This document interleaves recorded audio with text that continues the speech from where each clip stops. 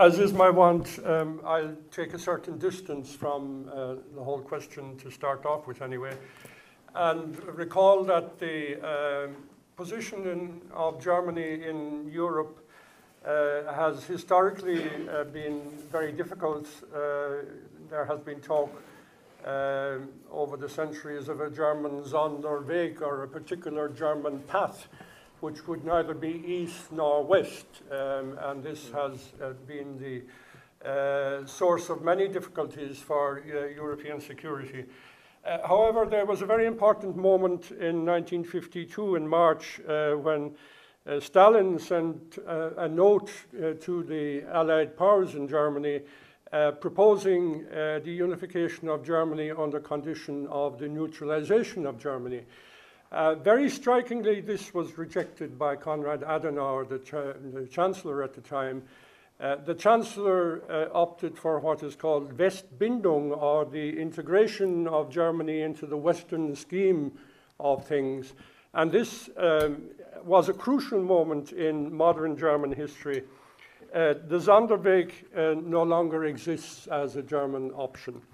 Uh, subsequently, um, there was um, in the 70s and the 80s uh, a, an evolution in German policy uh, relating to Russia, the Soviet Union at the time, and in particular focused on uh, the GDR and on the unification of Germany eventually uh, it was called, uh, and excuse me for using German terms, Wandel durch Annäherung, or change through rapprochement.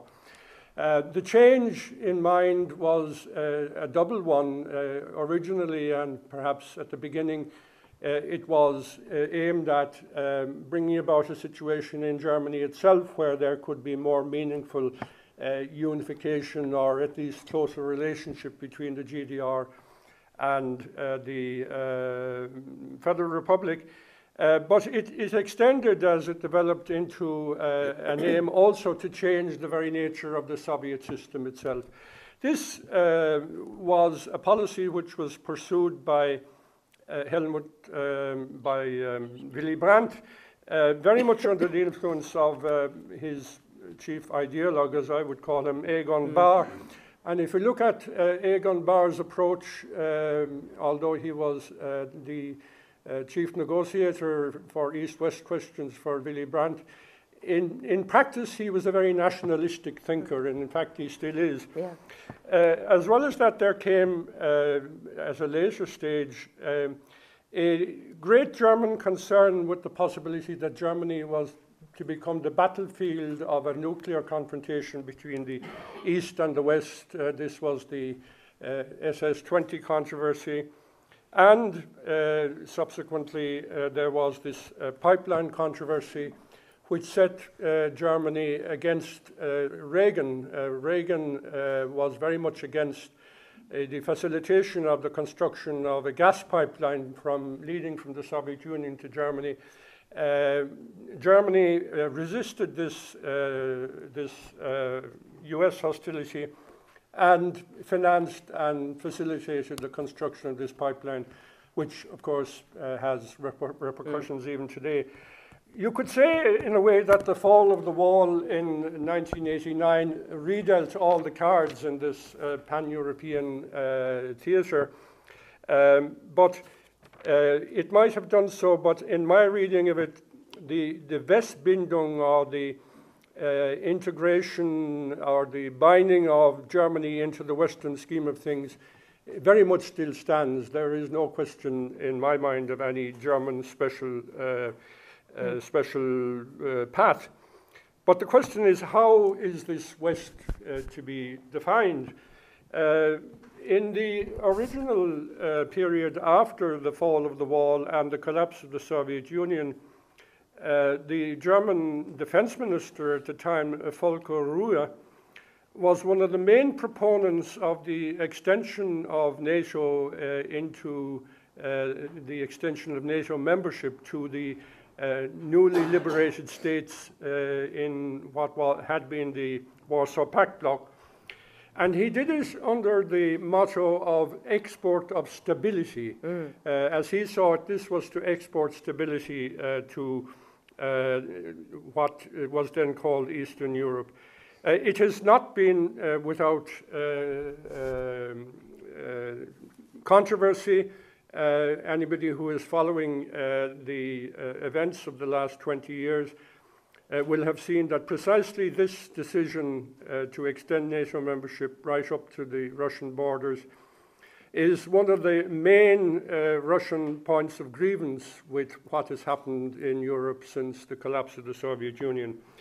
Uh, since uh, the collapse of the uh, Soviet Union, the Germans, apart from Volker Ruhe, have engaged in policy which has been characterized as change through uh, weaving in Wandel durch Verflechtung.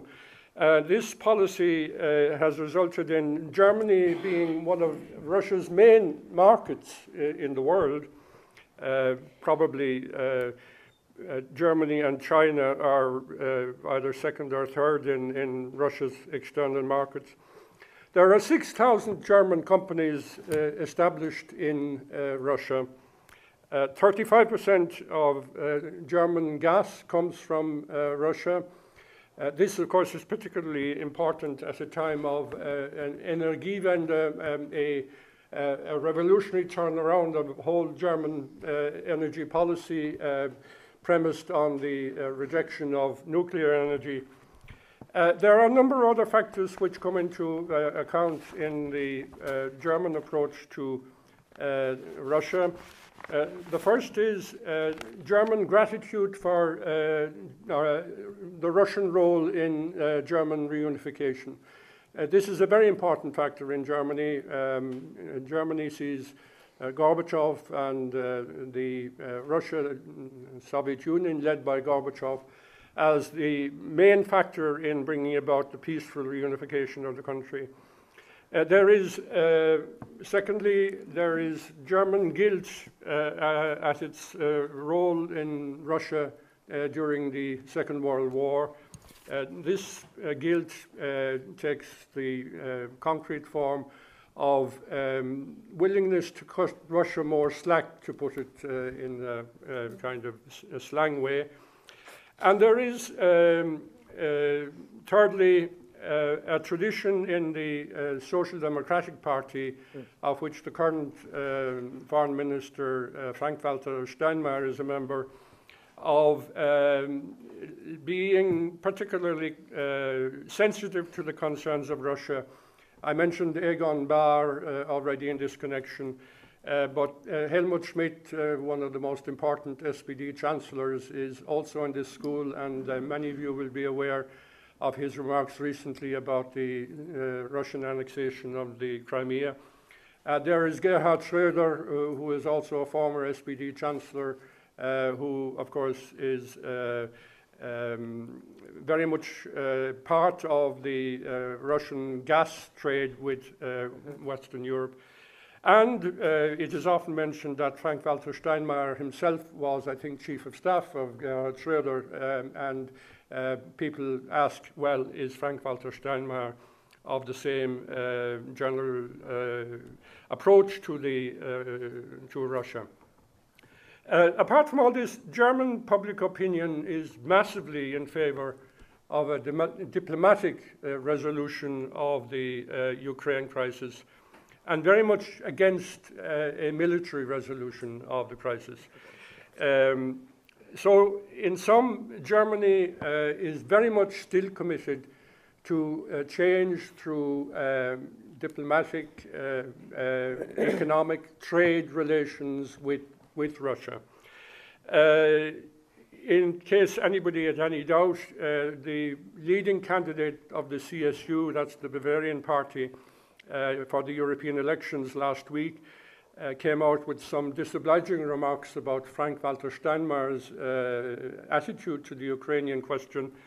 Uh, he was very quickly slapped down by his leader, uh, uh Seehofer, uh, and indeed, Angela Merkel has left no doubt whatsoever that there is no daylight between her position and that of Frank Walter Steinmeier on the question of the Ukraine. So, uh, in sum, the uh, uh, position in Germany, with which I personally would agree, is that there can be no resolution of the crisis in the Ukraine uh, without Russia. Uh, this does not mean that uh, we support Russia. Uh, Angela Merkel certainly doesn't take the position that she supports the Russian annexation of the Crimea. But uh, it is clear uh, that Russia uh, has to be made part of an overall European security architecture, uh, not unconditionally, but uh, under conditions that we can all accept. So that is my reading of the uh, current situation as far as Germany is concerned. Thank you very much. Okay, so that concludes the. the